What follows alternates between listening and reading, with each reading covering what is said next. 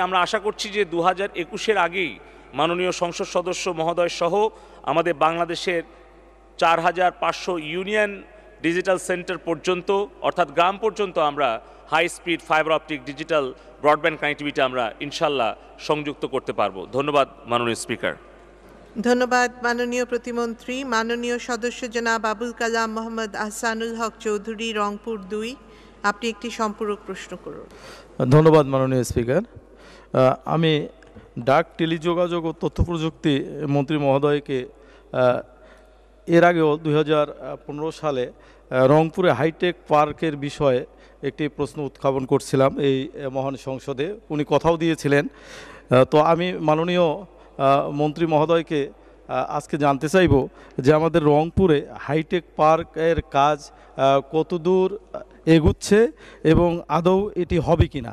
ধন্যবাদ মাননীয় স্পিকার। ধন্যবাদ মাননীয় সদস্য মাননীয় প্রতিমন্ত্রী। ধন্যবাদ মাননীয় স্পিকার।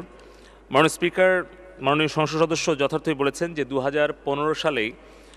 যখন ভারতের মাননীয় প্রধানমন্ত্রী জনাব নরেন্দ্র মোদী বাংলাদেশ সফর করেন তখনই আমাদের বন্ধু প্রতিম রাষ্ট্র ভারতের আশ্বাসে এবং একটা চুক্তি সম্পাদন হয় যে আমরা যে আঠাশটি হাইটেক পার্ক স্থাপন করছি সারা বাংলাদেশে বিভিন্ন বিভাগ এবং জেলা পর্যায়ে, সেখানে বারোটি হাইটেক পার্ক স্থাপনের জন্য ভারত তাদের স্বল্প সুদে আর্থিক সহযোগিতা আমাদেরকে দেয় এবং মাননীয় প্রধানমন্ত্রী জননেত্রী শেখ হাসিনা এবং ভারতের মাননীয় প্রধানমন্ত্রী নরেন্দ্র মোদীর উপস্থিতিতে আমরা চুক্তি স্বাক্ষর করি এবং একশত তিরানব্বই মিলিয়ন ডলার এই প্রজেক্টটি বারোটি হাইটেক পার্ক স্থাপন কার্যক্রম চলছে।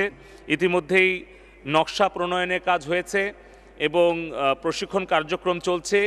আমরা টেন্ডার আহ্বান করেছি এবং আমরা আশা করছি যে এই অর্থ বছরের মধ্যেই রংপুর সদরে হাইটেক পার্ক একশো চুয়ান্ন কোটি টাকা ব্যয়ে নির্মাণ কাজ আমরা শুরু করতে পারব এবং পাশাপাশি আরও যেগুলো উপজেলায় এবং জেলায় আইটি ট্রেনিং ইনকিউবেশন সেন্টার এবং হাইটেক পার্ক নির্মাণ কাজ আমরা হাতে নিয়েছি, সেগুলো আমরা আশা করছি যে একুশ সালের মধ্যেই সেগুলো আমরা দৃশ্যমান করতে পারব এবং ইনশাআল্লাহ দু হাজার তেইশের মধ্যেই এই পার্কগুলিতে আমাদের তরুণ প্রজন্মের পদচারণায় মুখরিত হবে ইনশাআল্লাহ। ধন্যবাদ মাননীয় স্পিকার।